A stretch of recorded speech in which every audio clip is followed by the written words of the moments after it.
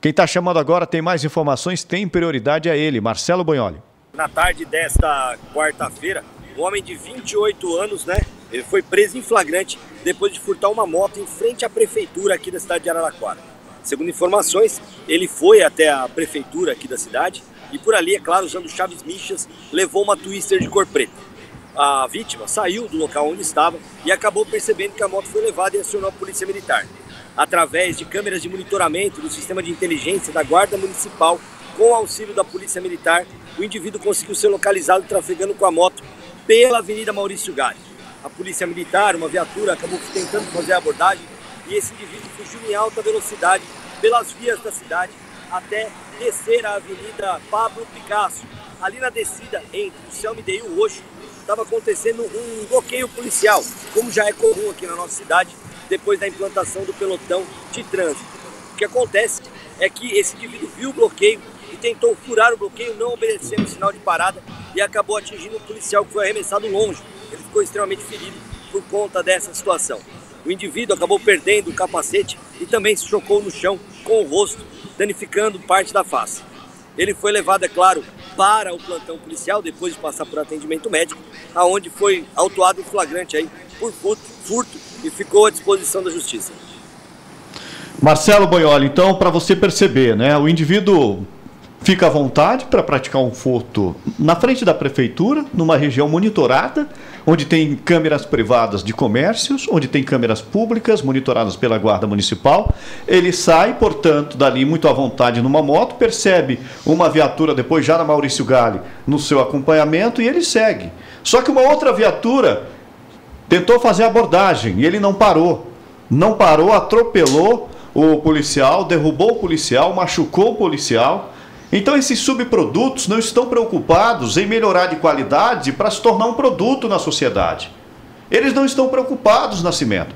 Porque quando existe uma linha de produção em que o técnico de qualidade dentro da fábrica percebe que um produto não tem qualidade, o que, que ele faz? Ele tenta melhorar a qualidade desse produto para torná-lo um produto pronto a seguir para o mercado. Deixar essa indústria de baixa qualidade, aquele subproduto, e melhorar a qualidade. Esse indivíduo vai continuar sendo um subproduto, como você classifica, porque também ele não quer melhorar de qualidade. Ele não quer trabalhar. Ele quer aproveitar as oportunidades para praticar o crime, para praticar o furto. Pergunta se ele quer trabalhar. É, então vou... é um discurso muito fácil, né? É, Tadinho, aceitar, coitadinho, Chico. vítima da sociedade. Aquele discurso em que o nosso presidente disse que os coitadinhos dos jovens furtam o celular para tomar uma cerveja no bar. Pois é, esse, é, esse discurso é um discurso batido, na, na, população brasileira. Discurso batido de uma agenda de esquerda com essa narrativa de coitadinho, de direitos humanos. E sobre esse contexto aí, a gente tem audiência de custódia, saidinha é, da prisão, é, é, de redução de pena por bom comportamento e por aí vai, né? E, e a impunidade segue solta na nossa sociedade. Eu vou aceitar a chacota de vocês, né? mas assim, eu sou uma não, pessoa chacota não, é realidade. Eu, eu, sou uma pessoa que procura olhar o todo, não o, a parte. É, tentar ficar analisando parte por parte é o que esse país e a sociedade sempre fez. Por isso que a sociedade não muda, porque a gente gosta de, de, de analisar fatos, ocorrências, porque é isso que chama a atenção, é isso que prende a atenção das pessoas. Eu procuro aqui trazer um olhar e uma reflexão mais ampla confundir vítima. Eu não disse que essa pessoa é uma vítima da sociedade, eu disse que ele é um subproduto.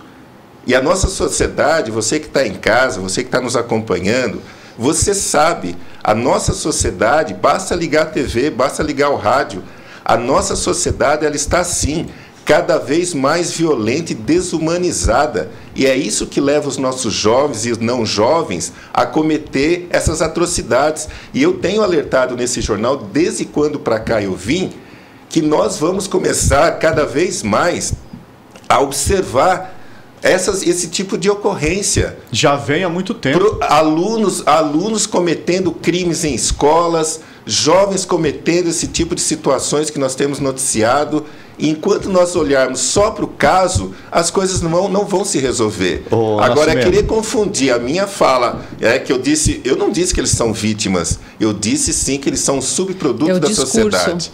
Não, não é um é. discurso, é uma análise. Vocês é que tem que parar com essa narrativa de discurso de esquerda. Eu não faço discurso de esquerda. Eu sou uma pessoa humanizada. Eu defendo os direitos humanos da sociedade, de direita, de centro e de esquerda. Eu defendo direitos humanos de quem realmente deve ter esses direitos. Uma pessoa Todos como essa, devem ter esse uma direito. pessoa como essa não deve ter direito. Ah, uma pessoa como essa tem que ser é, é Tem que enfiada ser o no quê? sistema prisional. Colocado na cadeira elétrica como você defendeu. Talvez, talvez. Talvez na Talvez tua porque cabeça, é uma pessoa que não tem, é uma pessoa Ainda que não bem tem, que você não está é uma no pessoa, STF. pois é, talvez você- Ainda bem que você não está no Ainda bem que eu não estou no Congresso Nacional. STF. Ainda bem que eu não estou no Congresso Nacional, porque talvez eu fizesse uma proposta Defender como essa para casos extremos assim. homem. Talvez eu fizesse uma proposta como essa se eu tivesse no Congresso Nacional para casos extremos assim. Uma pessoa como essa vivendo em sociedade é um risco. Porque se ele vai para o sistema prisional, uma hora ele vai sair. 22 anos, você falou que ele tem? Esse tem 28. 22 é o do crime lá de, da cidade de 28 Jal- anos. 28 anos. Se ele ficar 30 anos, ele vai ter muito tempo de vida ainda. Então é um risco à sociedade, não tem recuperação. E aí mata. É. Talvez seja o Responda. caminho. Talvez seja o caminho. É, e o Perfeito. direito dessa jovem? E o direito dessa jovem que foi morta, esfaqueada, É espancada, o direito uma de mulher, todos. uma mulher, pelo amor de É o Deus, de Nascimento. todos e todas. Não, não é justo que isso aconteça. entendo, é, a Claro puni- que não a é justo, punição, por isso que a gente tem que olhar a mas sociedade a punição que nós é temos. importante. A É punição é, óbvio importante. que não é justo que socorra, Maria. Por isso que a gente tem que entender a sociedade que nós temos e intervir na construção desse tecido social. É, é claro que é porque as preciso coisas ter só vão piorar. Mas o caso dessa pessoa aqui, provavelmente um psicopata, Mas não analise, é isso que eu peço para essa mesa, não analise caso a caso, analise o tecido, analise a composição social De brasileira. uma coisa, Nascimento, eu tenho certeza e vocês concordarão. E- esses indivíduos eles são sim subprodutos do nosso sistema judiciário falido, Social, econômico, falido, porque, jurídico, assim, um- político. Um, cara de 28 anos de idade que está pelas ruas, é, furtando, roubando um objeto alheio. Ele sabe, ele sabe que muitas vezes no outro dia não foi flagrante ou, não, ou foi flagrante impróprio, seja lá como for. Ele, ele imagina, ah, daqui dois dias eu estou em casa. Sabe, eu vou responder em liberdade. Então, assim, o judiciário deu toda essa abertura, o nosso Congresso, os nossos deputados, nossos políticos deram to, to, todas essas facilidades Ed, me ao longo de perdoe anos. te interromper, Nós mas é temos- isso que eu estou dizendo, é olhar Sim, o tecido. é Quando você está pra você. falando tudo isso, e eu concordo, você está sendo brilhante na sua análise. Tudo isso que você está falando, eu chamo de tecido social. Sim, é o tecido social. E, e- e essa situação. Você está corretíssimo. Essa situação foi criando, nós fomos criando né, certas situações ao longo desse. O nosso código, nosso código penal, Nascimento, de 1940. Por mais que nós tenhamos é, As reformas. as reformas, tudo mais. Micro-reformas. As micro-reformas, a mais importante, a mais recente do pacote anticrime e também a inclu- a inclusão do crime de cyberbullying mais recentemente. Mas assim, é muito antigo, Chico tanto o Código do Processo Penal também. Então, assim, são certas situações. Nós temos, eh, se, se formos olhar no papel, é coisa linda, né? Muitas leis, muitas situações, principalmente na área penal, tudo, mas assim, na área criminal. Mas é difícil, porque o indivíduo ele já, já chega com 18 anos com aquele, com aquele discurso, Maria, ah, não põe a mão em mim. Eu sei dos meus direitos. Eu sei- mas ele nunca sabe do dever dele.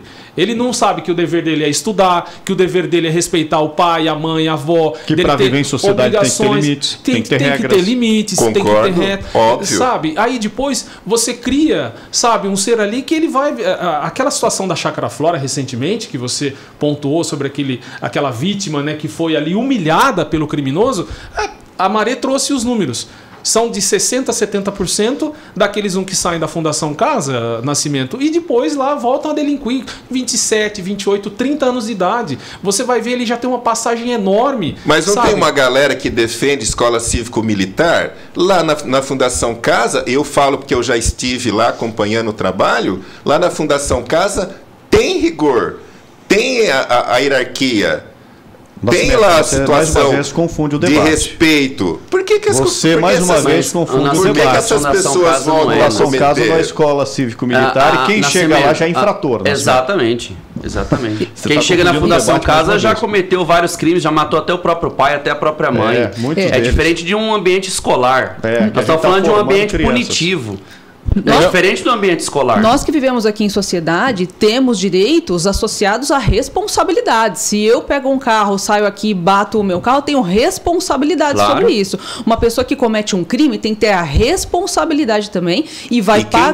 disse que não? e vai pagar sobre isso. E a gente sabe que quando a polícia usa de força ostensiva no combate ao crime, ela é muito efetiva. Nós falamos aqui a questão de Santos, por exemplo, né? Esse é um debate bom também. Onde teve, onde teve ali grande força policial e, com- e conseguiu combater, implodir de dentro para fora o crime organizado, né? Porto ali, cidade de Santos, do Porto de Santos é uma região bastante importante, né? Onde vem cargas ali do mundo inteiro e a polícia teve uma ação efetiva e a criminalidade em Santos Por que caiu, que essa ação caiu começou lá em drasticamente. Santos, você Então isso daí é Aí- muito Então, é- é gente, outro mas assim, eu acho que é, é outra discussão. é a questão debate. aqui é que o camarada fez um furto diante da prefeitura o que mais me, me choca é a cena de filme.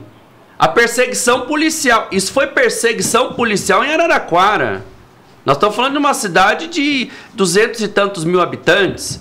Perseguição policial em plena luz do dia em Araraquara, onde um policial militar é ferido. O meliante cai e ainda é socorrido e etc. Ou seja, e se esse, moto, esse motoqueiro, né, que não era motoboy e nem traba, estava trabalhando, estava era um fugindo da polícia, não era um entregador que está aí correndo agora nesse momento para ganhar o sustento dos seus filhos, da sua casa, da sua mulher. Ou seja, é uma cena de filme. Perseguição policial em Araraquara. Aí de repente a polícia começa a perseguir por conta que ele já tinha cometido um crime, não é?